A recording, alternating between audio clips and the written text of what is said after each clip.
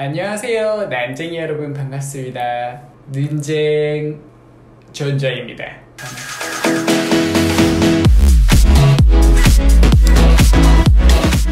아, 오늘 제가 드디어 첫 번째 마우스 리뷰를 하러 왔습니다. 눈쟁전자 최초.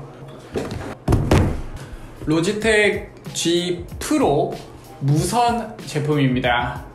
두 개를 갖고 왔어요.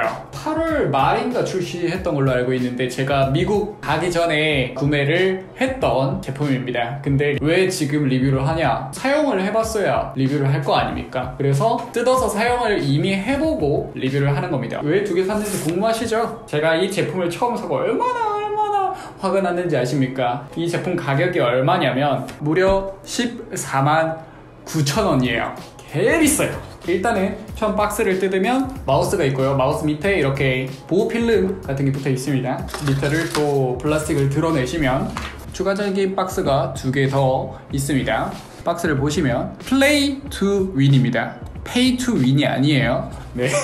이 안에 케이블 들어 있어요. 케이블은 이전에 G903이나 뭐 900, 703 같은 제품은 케이블이 fabric이에요. 천으로 덧대어져 있는데 이 제품 같은 경우는 고무로 돼 있습니다. 그러니까 아예 유선의 사용 자체를 안 한다는 거 염두에 둔 것 같아요. fabric으로 돼 있는 제품이 훨씬 더 마우스 번지나 연결했을 때 좀 더 사용하기 깔끔한데 고무로 바꿨다는 거는 이제 유선으로 이 제품을 사용할 일이 없을 거다라는 자신감인 거예요. 각종 뭐 설명서 조그마한 여기는 뭐가 들어있느냐?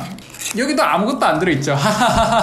왜냐? 여기 뜯어서 제가 사용 중이거든요. 추가로 사용할 수 있는 버튼들이 4개가 있고요. 여기에는 원래 USB 송수신기가 있습니다. 여기 보시면 이거예요.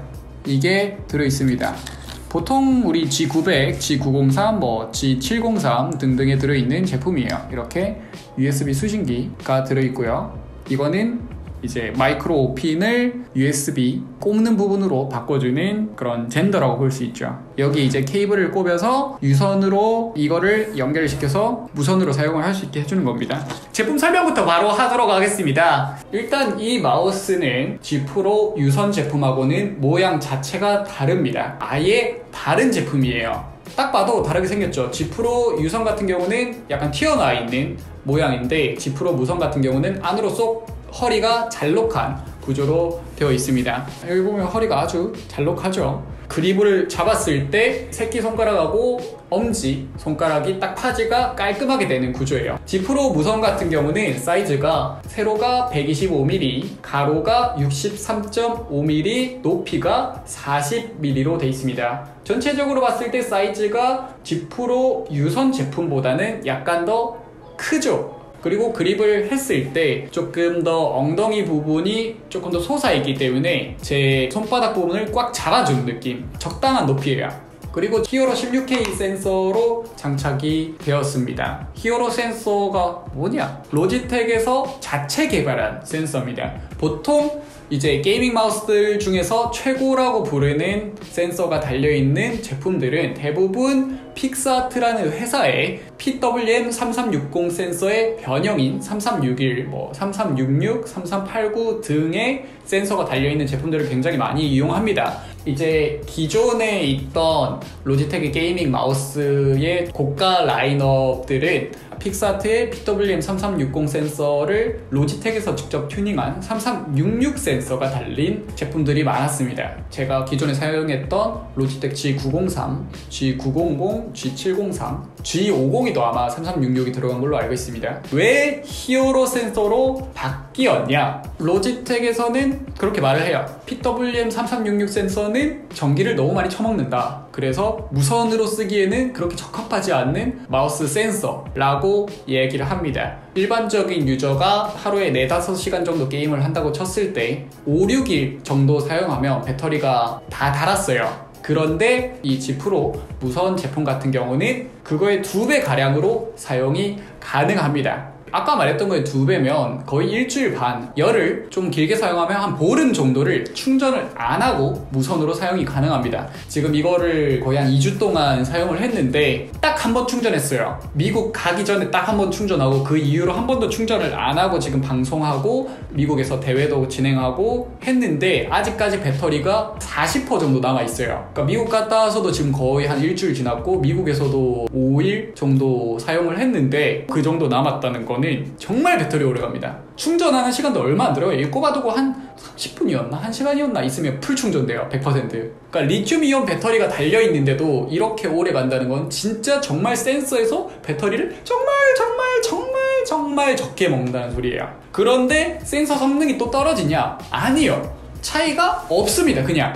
3366 센서 사용했을 때랑 이거 썼을 때랑 차이가 없어요. 혹시나 이걸로 플레이한 영상이 궁금하시면 지금 우측 상단에 보시면 영상이 하나 있을 겁니다. 제가 이거 가지고 직접 플레이한 배틀그라운드 영상을 보실 수 있는데 이전 배틀그라운드 영상들이랑 큰 차이 없을 거예요. 일단은 이 히어로 16K 센서가 좋아요. 근데 왜 16K가 붙었는지 아십니까? 기존의 히어로 센서에서 DPI 설정할 수 있는 폭이 더 넓어진 거예요. 16,000까지 이제 설정이 되기 때문에 히어로 16K라는 게 붙은 겁니다. 그리고 뭐 기타 잡스런 상세한 스펙은 지금 네 여기 보시면 띄워져 있을 겁니다. 네. 그리고 버튼 옴론 차이나 50M짜리 제품으로 들어가 있습니다. 뭐 G903에 들어간 제품하고 똑같은 옴론 제품이 들어가 있죠. 나쁘지 않아요.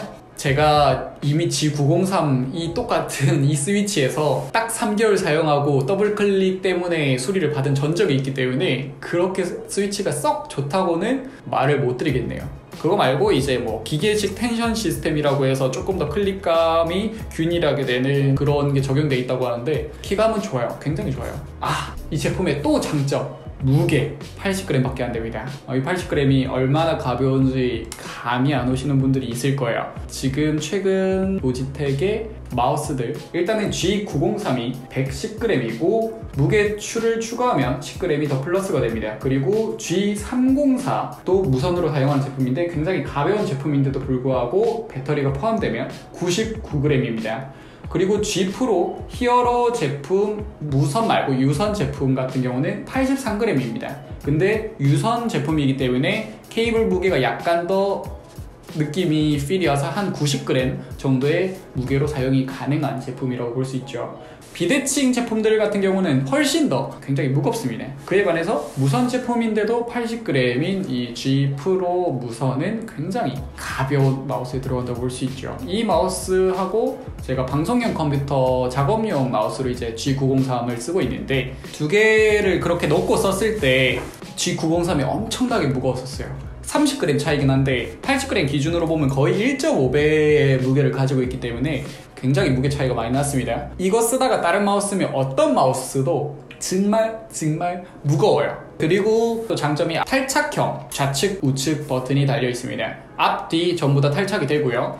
오른쪽도 탈착이 돼서 아까 추가로 들어있던 버튼을 이용해서 왼손 잡이시면 왼쪽 버튼을 빼시고 오른쪽 버튼을 추가한다든지 아니면 내가 버튼 4개를 다 사용하고 싶으면 4개 다 붙여가지고 따로 버튼을 할당을 해서 사용을 하실 수가 있습니다. 그거는 굉장히 편해요. 그리고 버튼 감도 경쾌하고 좋은 버튼 감입니다. 하단 같은 경우는 feet가 상단 위쪽에 하나, 뒤쪽 부분에 좌측, 우측에 피트론이 있고 맨 끝부분에 피트론이 조그맣게 하나 더 있습니다. 그러니까 약간 이쪽 부분에는 이제 feet가 부족하긴 한데 직접 사용했을 때는 그렇게 큰 문제는 없었습니다. 전체적으로 마우스 움직이는 것은 braking보다는 약간 슬라이딩 느낌이 좀 강했고요. braking 성능을 좀 원하시면 마우스 패드를 바꾸는 게 좋지 않을까 생각이 됩니다. 제가 이 제품을 사서 화난 이유 왜 14만 9천 원이라고 아까 말씀드렸죠. 가격이 14만 9천 원입니다. 싼 게 아니에요. 마우스 한 3, 4만 원짜리도 비싸다고 생각하는데 10만 원짜리가 넘어가는 제품이에요. 그런데 이 마우스가 불량이 왔어요. 한국에 몇 개 안 들어온 제품을 제가 구매를 한 건데 불량이 왔어요. 뭐가 불량이냐? 아, 여기 보시면 버튼이 있는데 소리 잘 들어보세요. 어, 소리 이 뒤에 거는 소리가 깔끔합니다. 앞에 거 들어보세요.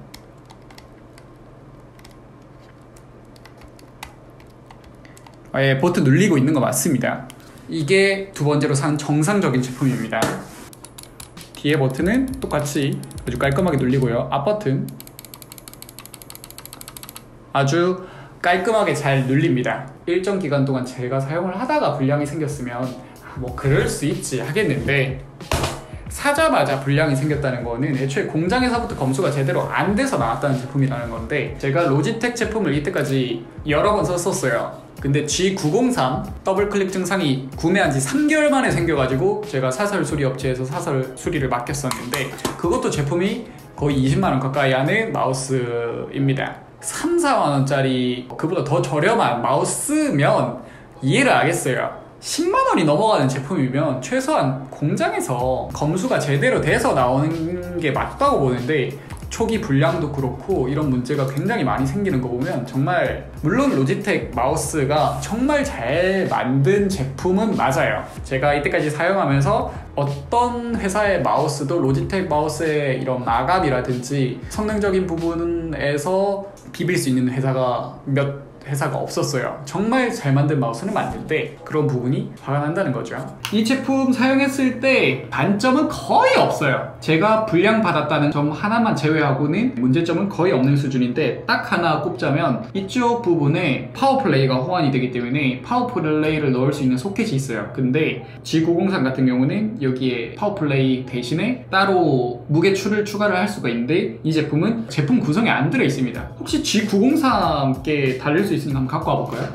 로지텍 G903에 들어있는 무게추도 들어가는지 한번 해보도록 하죠. 이걸 여기 뒷면에 이렇게 꽂은 다음에 이렇게 꽂으시면 추가가 됩니다. G 프로에도 한번 써보도록 하겠습니다. 일단 딱 들어가요. 오! 오! 어, 유격 하나도 없이 딱 들어갑니다. 사이즈가 완전 똑같아요.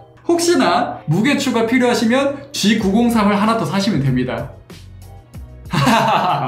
G 프로 무선을 사신 분들은 가벼운 무게 때문에 사신 분들이 많겠지만 또 80g이 너무 가벼워가지고 나는 10g 정도의 무게추를 더 했으면 좋겠다 싶은 분들은 살짝 아쉬운 부분이라고 할 수 있습니다. 그리고 여기 안쪽 부분에는 USB 수신기가 넣어서 다닐 수가 있는데 이것도 단점이에요. 우리가 마우스 할 때 들고 다녀야 되는 게 뭡니까? gaming 할 때. 솔직히 말해서 케이블이랑 다 같이 들고 다녀야 되거든요. 근데 이 수신기만 뽑아가지고 이 안에 이렇게 들고 다닐 일이 솔직히 말해서 거의 없어요. 왜냐면 이거는 사무용 마우스가 아니고 gaming 마우스이기 때문에 PC방 같은 경우는 워낙 전파 방해도 많고 그렇기 때문에 이런 식으로 여기에 직접 꽂아서 케이블 을 꼽은 다음에 조금 더 마우스랑 가까운 부분에 넣고 사용을 해야 되는 경우가 많아서 솔직히 말해서 이 안에 넣고 다니는 거는 효용성이 그렇게 크게는 없다라고 생각을 합니다. 그거 말고 다른 부분은 없습니다. 굉장히 나머지 부분에서는 좋은 마우스입니다. 총평을 내리자면 가볍고 무선 성능 정말 좋고 배터리 정말 오래가는 좋은 대칭형 마우스지만 비싸고 내거 불량 왔고 무게추가 없기 때문에 내가 원하는 custom으로 무게를 설정할 수 없다는 부분. 딱 이 정도 되겠네요.